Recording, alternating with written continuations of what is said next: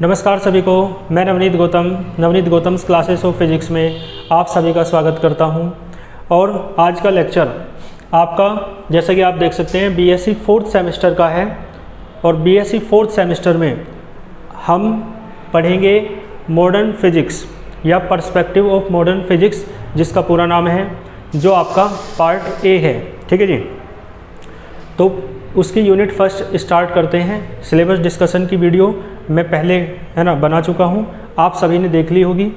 आइए तो unit first जो है आपकी, वो है रिलेटिविटी एक्सपेरिमेंटल बैकग्राउंड ठीक है जी? हिंदी में कहेंगे, आपेक्षिकता प्रायोगिक पृष्ठभूमि। ठीक है जी? यानी इसकी बेसिक बातें बेसिक बैकग्राउंड है ना, आधारभूत बातें इसकी आपको पढ़नी है। प्रयोगों से रिलेटेड है ना? ठीक है जी? तो रिलेटिविटी यानी कि आपेक्षिकता। ठीक है जी?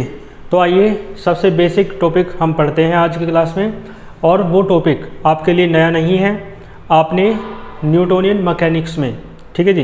बीएससी फ़र्स्ट सेमेस्टर में उस टॉपिक को पढ़ा है तो उसका नाम है फ्रेम ऑफ़ रेफरेंस ठीक है जी? तो पहली हेडिंग डालें। फ्रेम ऑफ़ रेफरेंस ठीक है जी? तो हिंदी में क्या कहते हैं? जड़त, ये जड़त्व और अजड़त्व तो इसके प्रकार हैं। हिंदी में कहेंगे निर्देश तंत्र।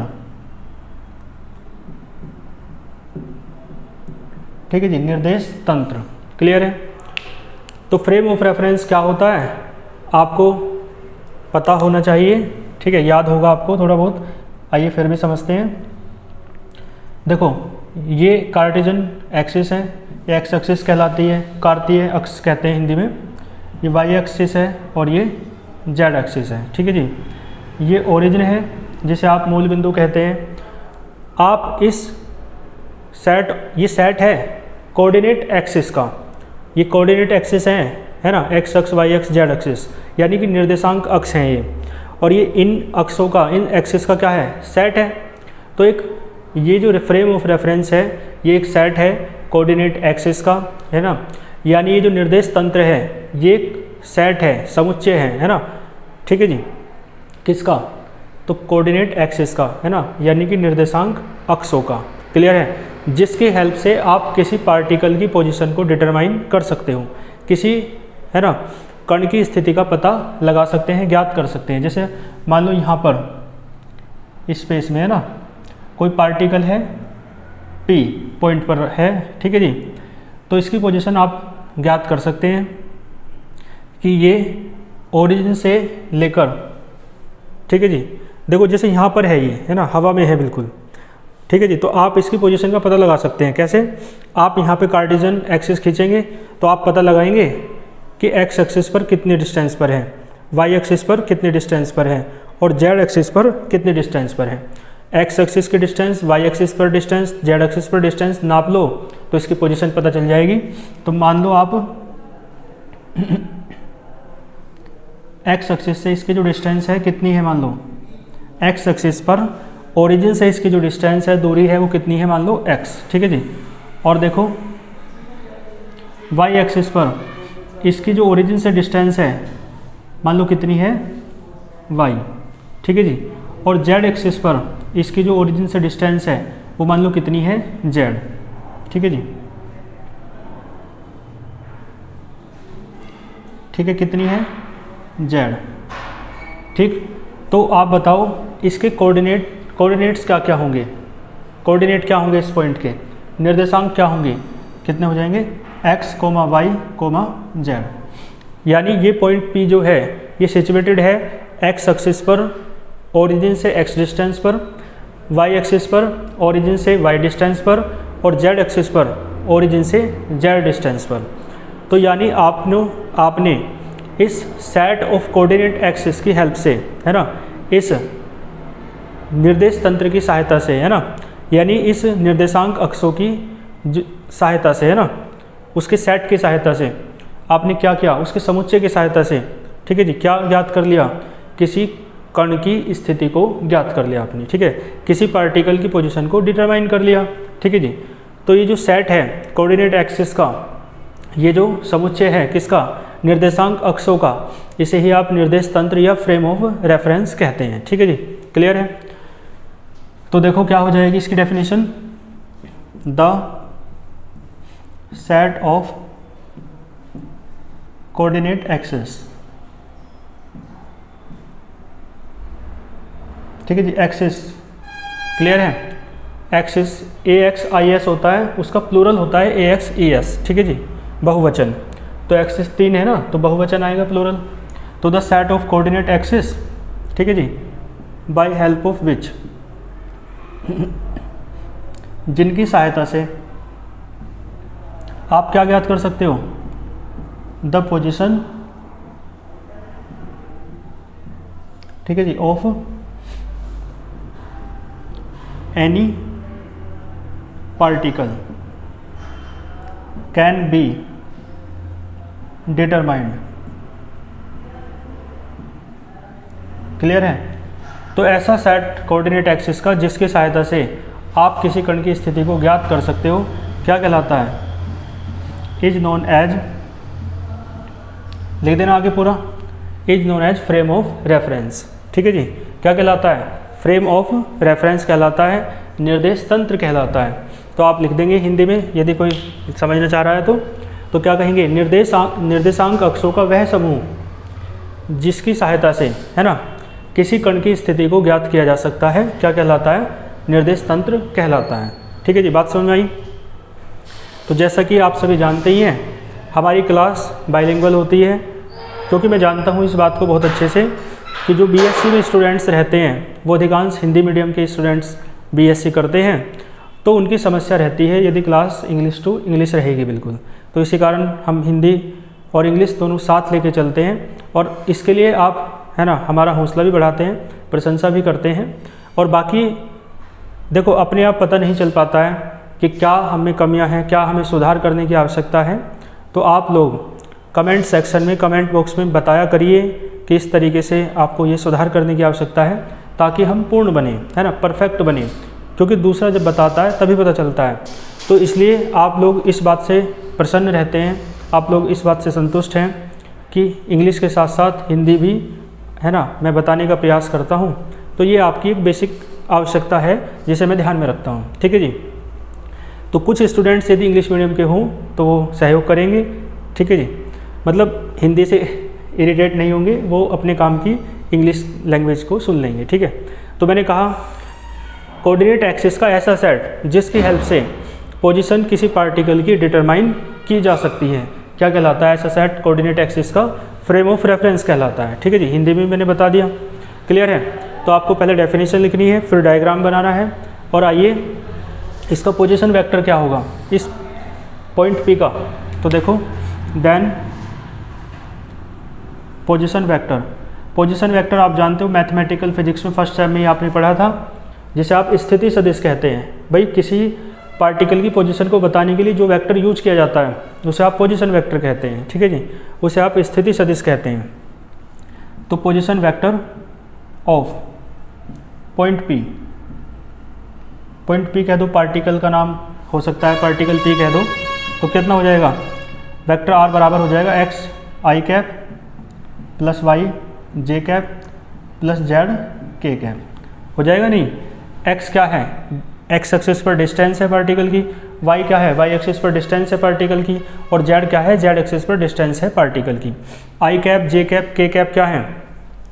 आप जानते हैं, इन्हें कहते हैं ऑर्थोगोनल यूनिट फैक्टर्स ठीक है जी? लंब कोणीय एकांक सदिश। आपको पता होना चाहिए एक्स एक्सिस के अलोंग जो यूनिट वेक्टर है orthogonal unit vector y cap होता है वाई एक्सिस के अलोंग होता है जे कैप और जेड एक्सिस के अलोंग होता है के कैप ऑर्थोगोनल यूनिट वेक्टर लंब कोणीय एकांक सदिश, ठीक है जी? तो ये हो जाएगा पोजिशन वैक्टर इस पार्टिकल का। पोजिशन वैक्टर है ये इस पार्टिकल का और इस पोजिशन वैक्टर की हेल्प से आप इस पार्टिकल यदि ये पार्टिकल मोशन कर रहा है, गति कर रहा है तो आप इसकी वेलोसिटी भी फाइंड कर सकते हैं। कैसे? तो देखो, आप डिफरेंशियल करें या डिफरेंशियल ना भी करें वेलोसिटी आप फाइंड करना चाह रहे हैं तो वेक्टर वी बराबर आपको पता है क्या होता है displacement upon time interval vector r displacement है, विस्थापन है तो डिस्प्लेसमेंट अपॉन टाइम इंटरवल क्या होता है, विस्थापन बटे समयंतराल क्या होता है, वेग वेलोसिटी तो आप यहाँ पर डी अपॉन डी और वेक्टर आर की वैल्यू रखें x i cap plus y j cap plus z k cap अलग अलग हो जाएगा, देखो। वेक्टर v बराबर क्या हो जाएगा? D x upon d t i cap plus d y upon d t j cap plus d z upon d t k cap इस तरीके से आप देख सकते हैं किसी पार्टिकल की आप वेलोसिटी भी फ्रेम ऑफ़ रेफरेंस की सहायता से ज्ञात कर सकते हैं। ठीक है जी? तो ये फ्रेम ऑफ़ रेफरेंस के बारे में मैंने आपको बताया। इसके बाद हेडिंग डालो। Types of frame of reference ठीक है जी? इसका आपने स्क्रीनशॉट ले लिया होगा। बाकी टेलीग्राम पर टेलीग्राम चैनल का लिंक दिया हुआ है वीडियो के डिस्क्रिप्शन बॉक्स में। तो आप वहाँ से टेलीग्राम चैनल को ज़रूर ज्वाइन कर लें, क्योंकि आपको वीडियो क्लासेस का लिंक और साथ में पीडीएफ नोट्स लेक्चर वाइज फिर यूनिट वाइज ठीक है जी? कहाँ मिलेंगे? टेलीग्राम चैनल पर। तो टेलीग्राम चैनल ज़रूर ज्वाइन करके रखें आप। तो नेक्स्ट हेडिंग डालो types of frame of reference यानी प्रकार। टाइप्स ऑफ़ आप फ्रेम ऑफ़ रेफरेंस को रेफरेंस फ्रेम भी कह सकते हो। तो ये है types of frame of reference heading यानी कि निर्देश तंत्र के प्रकार।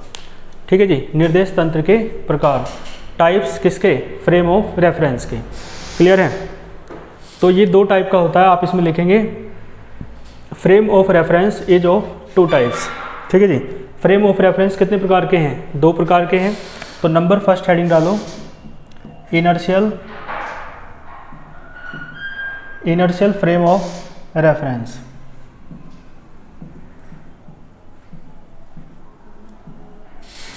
ठीक है जी इनर्शियल फ्रेम ऑफ़ रेफरेंस इसे आप हिंदी में क्या कहेंगे? जड़त्वीय. जड़त्वीय निर्देश तंत्र.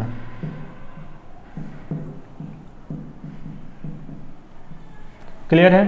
तो ये जड़त्वीय निर्देश तंत्र होता है। ठीक है जी, जड़त्वीय. जड़त्वीय या इनर्शियल आप जानते हैं। ठीक है जी तो एक वर्ड है इनर्शियल, जिससे इनर्शिया, वो इनर्शिया, जिससे इनर्शियल बना। और एक वर्ड है हिंदी में जड़त्व, जिससे जड़त्व शब्द बना। तो इनर्शिया या जड़त्व। इसके धारणा आप सुने, हालाँकि ये शब्द आपके लिए नया नहीं है। इसके बारे में आपने स्टडी की होगी एलेवेंथ क्लास में भी, और न्यूटोनियन मैकेनिक्स में भी, ठीक है? और न्यूटन का फ़र्स्ट लॉ इसी पर, इसी को समर्पित है, इसी पर डिपेंड इसी से रिलेटेड है। तो इनर्शिया क्या है? किसी बॉडी की वो प्रॉपर्टी है जिसके कारण जो बॉडी है, वो यदि रेस्ट में है तो रेस्ट में रहती है और यदि मोशन कर रही है तो मोशन करती रहती है। ठीक है जी? तो यानी if a body is at rest it will remain at rest ठीक है जी? If a body is in motion तो it will remain in motion ठीक क्लियर है? इसकी हिंदी क्या हुई कि यदि कोई वस्तु स्थिर अवस्था में है, विराम अवस्था में है तो वह विराम अवस्था में रहना चाहती है। यदि कोई वस्तु गतिमान अवस्था में है तो वह गतिमान अवस्था में रहना चाहती है। ठीक है जी? वस्तु के इस गुण को जड़त्व कहते हैं। This property of the body is known as inertia clear है? यानी कोई भी बॉडी अपनी स्थिति में होने वाले परिवर्तन का विरोध करती है। है ना? ये जो गुण है वस्तु का कि अपनी स्थिति में होने वाले परिवर्तन का विरोध करती है। वस्तु के इस गुण को जड़त्व कहते हैं। ठीक है every body opposes the change in its state है ना? अपनी स्टेट में होने वाली चेंज का क्या करती है? अपोज करती है। भाई बॉडी रेस्ट में है तो रेस्ट का रेस्ट में जो परिवर्तन करना चाह रहा है रेस्ट से रेस्ट क्या है? एक स्टेट है ना, अवस्था है ना बॉडी की तो वो रेस्ट से मोशन में लाना चाह रहा है। यानी रेस्ट को चेंज करना चाह रहा है। कोई भी फोर्स हो, है ना एक्सटर्नल तो रेस्ट में है तो मोशन में आने का अपोज करती है, यानी अपने स्टेट में होने वाले चेंज का अपोज करती है। और मोशन में है तो स्टेट में आने का अपोज करती है, यानी मोशन में होने, ये पोजिशन में स्टेट में होने वाले चेंज का अपोज करती है प्रत्येक बॉडी तो बॉडी की इस प्रॉपर्टी को आप क्या कहते हैं? इनर्शिया और इनर्शिया से ही वर्ड बना आपका इनर्शियल ठीक है जी? तो इसका मतलब ऐसा फ्रेम ऑफ़ रेफरेंस है ना, जिसमें इनर्शिया की प्रॉपर्टी हो जिसमें इनर्शिया की प्रॉपर्टी हो, जिसमें जड़त्व का गुण हो, ऐसा निर्देश तंत्र। क्या कहलाएगा? जड़त्व निर्देश तंत्र या inertial frame frame of reference ठीक है जी? और इनर्शिया की प्रॉपर्टी किस किसमें होगी? तो उसमें होगी, दो वर्ड हैं, या पहले एक वर्ड सुनो। इनर्शिया की प्रॉपर्टी उसमें होगी, उस बॉडी में होगी, जो अनएक्सेलरेटेड होगी। ठीक है जी? जो अनएक्सेलरेटेड होगी उस बॉडी में इनर्शिया की प्रॉपर्टी होगी। यानी कि हिंदी में कहेंगे अत्वरित अत्वरित का मतलब जिसमें त्वरण नहीं है। अनएक्सेलरेटेड का मतलब है जिसमें एक्सेलरेशन नहीं है। ठीक है जी? इन दोनों का ही मतलब है कि ए बराबर क्या है? ज़ीरो अत्वरित मतलब त्वरण नहीं है तो ए बराबर ज़ीरो अनएक्सेलरेटेड मतलब कि एक्सेलरेशन नहीं है तो ए बराबर ज़ीरो क्लियर है? तो इसका मतलब क्या हुआ? इसका मतलब ये हुआ एक्सेलरेशन ए बराबर त्वरण ए बराबर ज़ीरो कब होगा? तो दो स्थितियाँ बनेगी, यहाँ से भी। तब होगा नंबर फ़र्स्ट जब बॉडी देखो एक्सेलरेशन ज़ीरो होने का मतलब है, त्वरण ज़ीरो होने का मतलब यह है, देखो, त्वरण कब उत्पन्न होता है बॉडी में? एक्सेलरेशन कब प्रोड्यूस होता है? जब बॉडी की स्पीड बढ़ती है। आप जानते हैं ना एक्सेलरेशन क्या है? स्पीड के बढ़ने को ही तो एक्सेलरेशन कहते हैं। गति के, चाल के, वेग के बढ़ने को ही तो त्वरण कहते हैं। इसका मतलब चाल नहीं बढ़ रही है, स्पीड, वेलोसिटी नहीं बढ़ रही है और नहीं बढ़ रही है तो दो स्थितियों में नहीं बढ़ती। या तो बॉडी किसमें हो? रेस्ट में हो तो स्पीड नहीं बढ़ रही है। ठीक है? या बॉडी नॉन यूनिफॉर्म मोशन में हो। हाँ गलत। नॉन यूनिफॉर्म मोशन में हो। बॉडी किसमें हो? यूनिफॉर्म मोशन में। ठीक है? हिंदी में इसे कहते हैं विराम, रेस्ट को। और नॉन यून, ये यूनिफॉर्म मोशन को कहते हैं एक समान गति। एक समान गति ठीक है? आप खुद बताओ एक्सेलरेशन कब नहीं होगा बॉडी में? जब वेलोसिटी ना बढ़े मैंने बताया और वेलोसिटी कब नहीं बढ़ेगी? जब बॉडी या तो विराम यानी रेस्ट में हो और जब बॉडी या जब बॉडी यूनिफॉर्म मोशन में हो यानी एक समान चाल से गति कर रही हो। एक समान चाल से गति कर रही है तो स्पीड कहाँ बढ़ रही है? तो इसका मतलब तब भी एक्सेलरेशन ज़ीरो और जब वो रेस्ट में है, तब भी स्पीड कहाँ बढ़ रही है? यानी तब भी एक्सेलरेशन ज़ीरो क्लियर है? तो इसका मतलब है, ये दोनों कंडीशन होनी चाहिए बॉडी में, है ना? क्लियर है? तो ये दोनों कंडीशन में से कोई एक कंडीशन है तो एक्सेलरेशन ज़ीरो और ये क्या कहलाएगा? अनएक्सेलरेटेड बॉडी कैसी कहलाएगी? X unaccelerated अत्वरित। इन दोनों में से एक कंडीशन होनी चाहिए, या तो फ़र्स्ट या सेकंड और का अर्थ या? ठीक है जी तो दोनों में से एक कंडीशन पूरी हो रही है तो एक्सेलरेशन ज़ीरो है और एक्सेलरेशन ज़ीरो है, त्वरण ज़ीरो है तो अत्वरित है अनएक्सेलरेटेड है। ठीक है जी तो मैंने एक वर्ड आपको डिफाइन किया अनएक्सेलरेटेड अत्वरित। तो ऐसा फ्रेम ऑफ़ रेफरेंस जो अनएक्सेलरेटेड होता है, ठीक है जी, उसके अंदर प्रॉपर्टी पाई जाती है इनर्शिया की। इसी कारण वो फ्रेम ऑफ़ रेफरेंस कहलाता है इनर्शियल फ्रेम ऑफ़ रेफरेंस ठीक है जी क्लियर है? यानी ऐसा निर्देश तंत्र जो अत्वरित होता है उसी के अंदर प्रॉपर्टी गुण पाया जाता है जड़त्व का। और तभी वो फ्रेम ऑफ़ रेफरेंस तभी वो निर्देश तंत्र क्या कहलाता है? जड़त्वीय निर्देश तंत्र, ठीक है जी? और अनएक्सेलेटेड के साथ एक वर्ड और यूज़ होता है नॉन रोटेटिंग इसे हिंदी में कहते हैं अघूर्णी। ठीक है जी? अघूर्णी। तो नॉन रोटेटिंग का क्या मतलब है? नॉन रोटेटिंग का मतलब अघूर्णी। यानी जो घूर्णन गति ना कर रहा हो, ऐसा फ्रेम ऑफ़ रेफरेंस ऐसा निर्देश तंत्र, यानी जो रोटेटिंग मोशन या रोटेशनल मोशन ना कर रहा हो, ठीक है? क्योंकि रोटेशनल मोशन होगी, कैसी मोशन है तो एक्सेलरेशन प्रोड्यूस हो जाता है, ठीक है जी? रोटेशनल मोशन होती है तो आपको पता है एक्सेलरेशन प्रोड्यूस हो जाता है और एक्सेलरेशन प्रोड्यूस नहीं होना चाहिए। तो बॉडी कैसी है? यदि frame of reference non rotating है और अनएक्सेलरेटेड है तो फ्रेम ऑफ़ रेफरेंस कहलाता है इनर्शियल फ्रेम ऑफ़ रेफरेंस ठीक है, सारी बात समझाने का सार ये है। हिंदी में कहें तो यदि निर्देश तंत्र अत्वरित है और अघूर्णी है तो वो कहलाता है जड़त्वीय निर्देश तंत्र। क्लियर है? तो इसकी डेफिनेशन आप क्या लिख सकते हैं? हिंदी में सुनो, वह निर्देश तंत्र जो अत्वरित तथा अघूर्णी होता है, क्या कहलाता है? जड़त्वीय निर्देश तंत्र कहलाता है। ठीक है जी? इंग्लिश में क्या कहेंगे? द फ्रेम ऑफ़ रेफरेंस, ठीक है जी? विच इज़ अनएक्सेलरेटेड और अनएक्सेलरेटेड दो तरीक़ों से हो सकता है तो ब्रैकेट में लिख देना विच इज़ अनएक्सेलरेटेड ब्रैकेट में क्या लिखेंगे? एट रेस्ट और इन यूनिफॉर्म मोशन ब्रैकेट बंद, क्या आएगा? एंड अनएक्सेलरेटेड तो हो गया एंड नॉन रोटेटिंग कॉमा लगाना is known as inertial frame of reference ठीक है? ऐसा फ्रेम ऑफ़ रेफरेंस क्या कहलाता है? इनर्शियल फ्रेम ऑफ़ रेफरेंस कहलाता है। क्लियर है? तो बात समझ में आई? यानी आप क्या कह सकते हो? The frame of reference which is unaccelerated and non rotating और अनएक्सेलेटेड के ब्रैकेट में मैंने बता दिया, क्या लिखना है? तो ऐसा फ्रेम ऑफ़ रेफरेंस जो अनएक्सेलेटेड है और नॉन रोटेटिंग है, वो आपका क्या कहलाता है? इनर्शियल फ्रेम ऑफ़ रेफरेंस कहलाता है। ठीक है, ये बात आपको बिल्कुल अच्छे समझ में आ गई होगी। अब देखो क्योंकि एक्सेलरेशन तो ज़ीरो है है ना? यहाँ तक आप स्क्रीनशॉट ले सकते हो। बाकी मैंने लैंग्वेज बोल दी है, किस तरीके से लिखना है और बाकी आपको पीडीएफ नोट्स मिलेंगे ही। देखो, अब चूँकि एक्सेलरेशन क्या है? ज़ीरो है। तो देखो, समझ लो। बिकॉज़ एक्सेलरेशन है ना इज़ ज़ीरो एक्सेलरेशन ज़ीरो है तो आप खुद बताओ मुझे एक्सेलरेशन ज़ीरो होने का मतलब क्या है? बॉडी में एक्सेलरेशन नहीं है, यानी स्पीड नहीं बढ़ रही है वेलोसिटी नहीं बढ़ रही है, और वेलोसिटी नहीं बढ़ रही है तो इसका मतलब क्या है? वेलोसिटी कब बढ़ती है? जब फोर्स लगता है, इसका मतलब कोई भी एक्सटर्नल फोर्स नहीं वर्क कर रहा है तो इसका मतलब है नो एक्सटर्नल फोर्स है ना? Is applied no external force is applied on the body body पर कोई भी एक्सटर्नल फोर्स कोई भी बाह्य बल कार्य नहीं कर रहा है। इसका अर्थ ये हुआ, क्योंकि एक्सेलरेशन कैसा है? ज़ीरो है।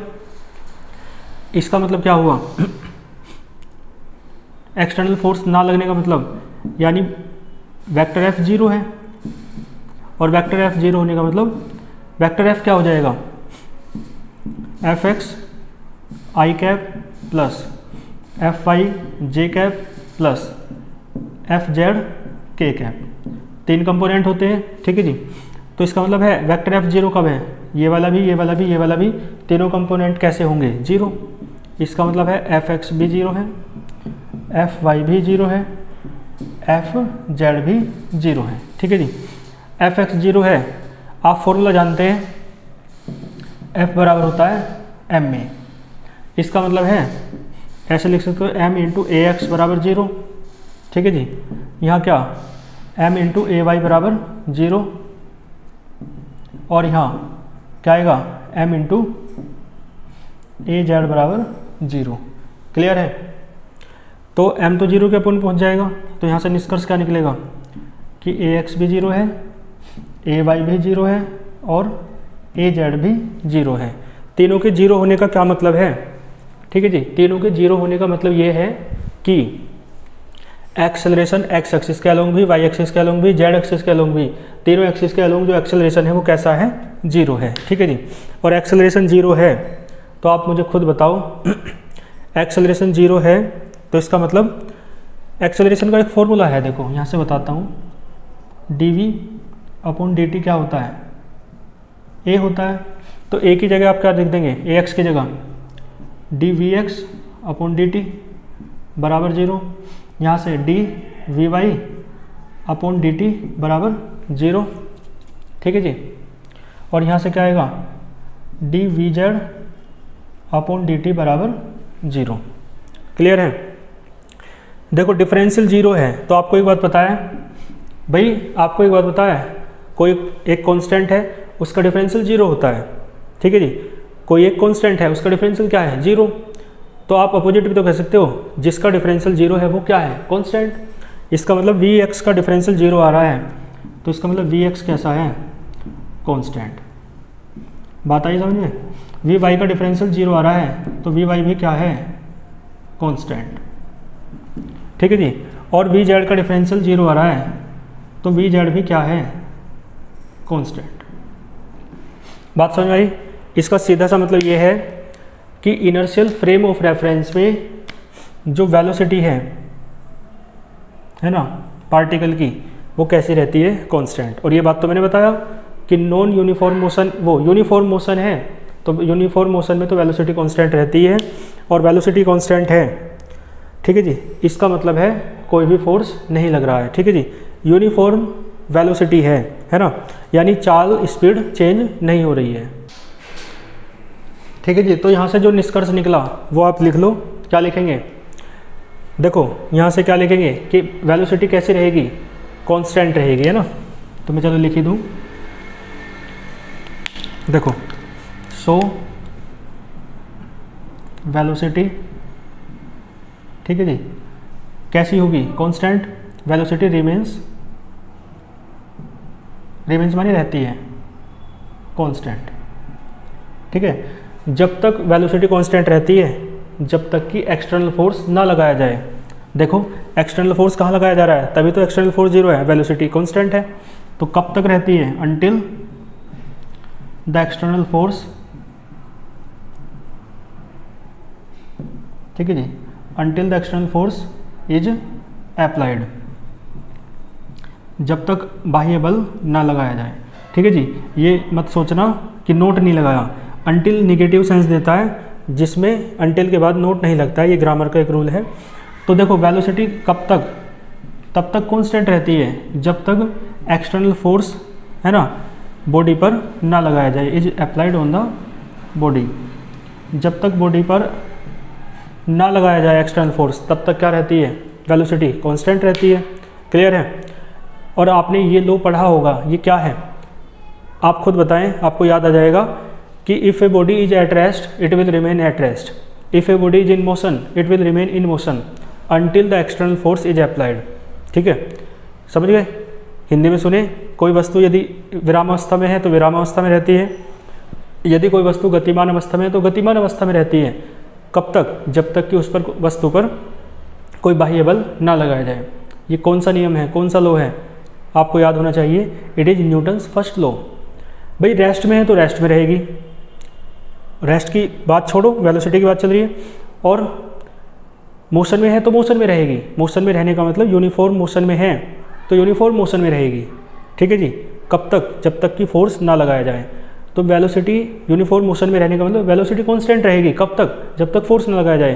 तो ये बात तो वही है किस कौन सी? जो उस लो में है, और वो लो कौन सा है? न्यूटन्स फ़र्स्ट लो जिसे आप इनर्शिया लो कहते हैं, जड़त्व का नियम कहते हैं न्यूटन का प्रथम नियम कहते हैं। तो इसके नीचे लिख देना this is Newton's first law और ब्रैकेट में लिख देना इनर्शिया लो यही न्यूटन का प्रथम नियम है, यानी कि जड़त्व का नियम है। क्लियर है? तो इसका मतलब यहाँ से एक बात और सिद्ध हो गई कि इनर्शियल फ्रेम ऑफ़ रेफरेंस में न्यूटन के नियमों का पालन होता है। ठीक है जी? तो आप एक बात और लिख देंगे। Hence in inertial frame of reference Newton's laws are followed है ना? फॉलो किए जाते हैं। न्यूटन के नियम पालन, न्यूटन के न्यूटन के नियमों का पालन किया जाता है किसमें? जड़त्व निर्देश तंत्र में। क्लियर है? और ये बात हमने समझी फ़र्स्ट लो के, है ना? फ़र्स्ट लो के पालन करने से, फ़र्स्ट लो के फॉलो करने से। क्लियर है? और हाँ इनर्शियल फ्रेम ऑफ़ रेफरेंस का एग्ज़ाम्पल देखना चाहें तो एग्ज़ाम्पल हो जाएगा ए फ्रेम ऑफ़ रेफरेंस ठीक है जी? एक ऐसा फ्रेम ऑफ़ रेफरेंस जो सिचुएटेड है है ना? सिचुएटेड ऑन ए स्टार किसी स्टार पर सिचुएटेड फ्रेम ऑफ़ रेफरेंस है ना? फ्रेम ऑफ़ रेफरेंस यानी कि निर्देश तंत्र। तो जो कहाँ सिचुएटेड है? किसी स्टार पर। निर्देश तंत्र यानी वही सेट ऑफ़ कोऑर्डिनेट एक्सिस वही तो है। निर्देशांक कक्षों का समूह, वही तो निर्देश तंत्र है, वही तो फ्रेम ऑफ़ रेफरेंस है। तो ये यदि किसी स्टार पर सिचुएटेड हो तो ये किसका एग्ज़ाम्पल हो? स्टार पर क्यों? क्योंकि स्टार पर दोनों बातें पूरी होंगी जो शर्त हैं। एक तो नॉन एक्सेलरेटेड का, है ना? अनएक्सेलरेटेड का अत्वरित का। अब स्टार में मोशन तो है नहीं तो वो तो रेस्ट में है। ठीक है जी? या गैलेक्सी के चारों ओर स्टार चक्कर लगाता भी है तो वो तो यूनिफॉर्म मोशन से लगाता है। ठीक है जी? तो इसका मतलब क्या हुआ? अनएक्सेलरेटेड तो रहेगा स्टार अत्वरित तो रहेगा तो वो शर्त पूरी हो रही है। दूसरी बात है नॉन रोटेटिंग यानी अघूर्णी। तो स्टार रोटेशन कहाँ करते हैं? स्टार तो फिक्स रहते हैं। तो दोनों ही बात पूरी होती है। कहाँ पर? यदि कोई फ्रेम ऑफ़ रेफरेंस सिचुएटेड है किसी तारे पर, है ना? किसी स्टार पर। क्लियर है? तो मैंने इनर्शियल फ्रेम ऑफ़ रेफरेंस आपको पढ़ा दिया है पूरे विस्तार में। ठीक है जी? इससे विस्तार अब और क्या होगा? ठीक है, कर लेंगे आप इसे। इससे आपका कुछ नहीं बचेगा। चाहे आपका एम टाइप हो ऑब्जेक्टिव टाइप हो पेपर और सब्जेक्टिव में तो कोई दिक्कत वाली बात है ही नहीं। दूसरा पॉइंट क्या है? नॉन आ जाएगा बस। ठीक है जी नंबर सेकंड हो जाएगा। Non inertial frame of reference और हिंदी में बात करें तो यहाँ पे ए आ जाएगा बस। ए जड़त्व है। ठीक है जी? और मैंने दो वर्ड आपको बताए थे। एक वर्ड बताया था अनएक्सलरेटेड तो उसकी जगह वर्ड अब क्या आ जाएगा? उसकी जगह वर्ड आ जाएगा एक्सलरेटेड ए हट जाएगा, वो अन हट जाएगा। और हिंदी में ए त्वरित था तो ए हट जाएगा। त्वरित। और दूसरा वर्ड था नॉन रोटेटिंग। नॉन हट जाएगा बस। रोटेटिंग हो जाएगा, यानी हिंदी में कहेंगे तो घूर्णी हो जाएगा। ठीक है जी? यानी इस बार एक्सेलरेटेड होना चाहिए एक्सेलरेशन होना चाहिए। यानी इस बार रोटेशनल और इस बार रोटेशनल मोशन होनी चाहिए रोटेटिंग होना चाहिए। ठीक है जी? तो इस टाइप का जो फ्रेम ऑफ़ रेफरेंस है है ना? कैसे कहेंगे? The frame of reference which is accelerated and rotating कौन लगा लिख देना इज़ नोन एज क्या कहलाता है? Non inertial frame of reference clear है?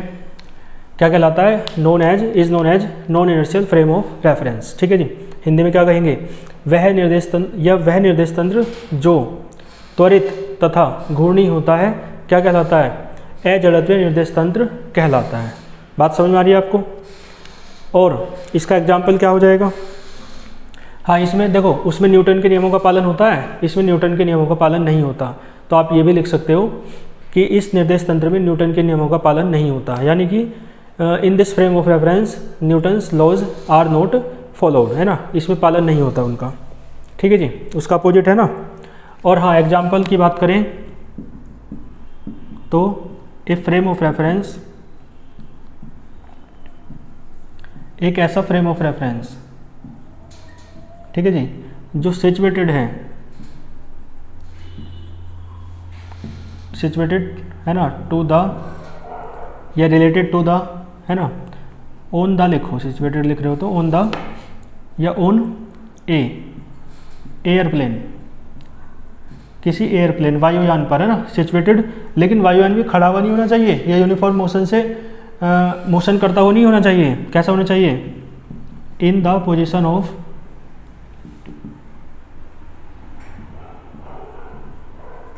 in the position of take off ठीक है जी? टेक ऑफ़ की पोजीशन में होना चाहिए। ठीक है जी? क्यों? क्योंकि जब टेक ऑफ़ करेगा तो आप खुद बताओ, उसकी स्पीड बढ़ती भी होगी। बढ़ती हुई स्पीड होगी तो एक्सेलरेशन होगा। तो इसका मतलब वो एक्सेलरेटेड है इस कारण से। तो ड्यू टू बीइंग एक्सेलरेटेड ठीक है जी? ड्यू टू बीइंग एक्सेलरेटेड यानी इसका मतलब क्या हुआ? त्वरित होने के कारण, है ना? एक उड़ान भरता हुआ, एक उड़ान भरते हुए वायुयान पर स्थित निर्देश तंत्र, है ना? किसका उदाहरण है? एजडते निर्देश तंत्र का। Non inertial frame of reference का एग्ज़ाम्पल है, ठीक है? एक ऐसा फ्रेम ऑफ़ रेफरेंस जो सिचुएटेड है एयरप्लेन पर, ठीक है? और एयरप्लेन कैसा है? तो एयरप्लेन खड़ा हुआ नहीं, या यूनिफॉर्म मोशन से चलता हुआ नहीं, बल्कि टेक ऑफ़ की पोजीशन में जब वो उड़ान भरता है। क्यों? क्योंकि जब उड़ान भरता है तो उसकी स्पीड बढ़ती है और उसमें एक्सेलरेशन होता है तो ड्यू टू बीइंग एक्सेलरेटेड वो एक्सेलरेटेड रहता है, ठीक है जी? तो इस टाइप से ये आपका non inertial frame of reference भी कंप्लीट होता है, ठीक है जी? तो आज के लेक्चर में इतना ही रखते हैं, ठीक है जी? आपकी कोई क्वेरी हो आपका कोई क्वेश्चन हो तो आप कमेंट बॉक्स में बता सकते हैं। बा, बाकी टेलीग्राम चैनल का लिंक दिया हुआ है वीडियो के डिस्क्रिप्शन बॉक्स में। वहाँ से ज्वाइन करिए टेलीग्राम चैनल और आगे पीडीएफ नोट्स ये वीडियो लेक्चर के लिंक और बहुत सारी सुविधाएँ जो मैं आपको बताता हूँ। जैसे कि पुराने वर्षों के अनसोल्ड पेपर आपको मिल जाते हैं टेलीग्राम चैनल पर और साथ में जब आपके एग्ज़ाम आते हैं तो अदर यूनिवर्सिटीज़ के एग्ज़ाम पेपर की पीडीएफ भी आपको मिल जाती है बुक आदि की पीडीएफ भी आपको मिलती रहती है, ठीक है जी? तो सब बातें, है ना? मैं कर चुका हूँ, आपके मन में कोई क्वेश्चन हो तो आप कमेंट बॉक्स में बता सकते हैं, ठीक है जी? और प्रतिक्रिया अवश्य दीजिएगा कि आपको समझ में आया है या नहीं आया है लेक्चर देखकर कैसा लगा है, अवश्य बताइए, उससे हौसला बढ़ता है, ठीक है जी? तो आप लोग अच्छे से अपनी पढ़ाई को जारी रखेंगे और आपका सपोर्ट बहुत आवश्यक है। आप सपोर्ट करते हैं तो मोटिवेशन मिलता है। ऐसा लगता है कि हाँ मेहनत करके, है ना, लेक्चर्स को जारी रखना चाहिए और एक हौसला बना रहता है, एक प्रेरणा बनी रहती है। ठीक है जी? तो इन्हीं बातों के साथ आज के लेक्चर को कंप्लीट करते हैं और नेक्स्ट लेक्चर में मिलते हैं। अच्छे से पढ़ाई को जारी रखिए। तब तक के लिए ऑल द वेरी बेस्ट।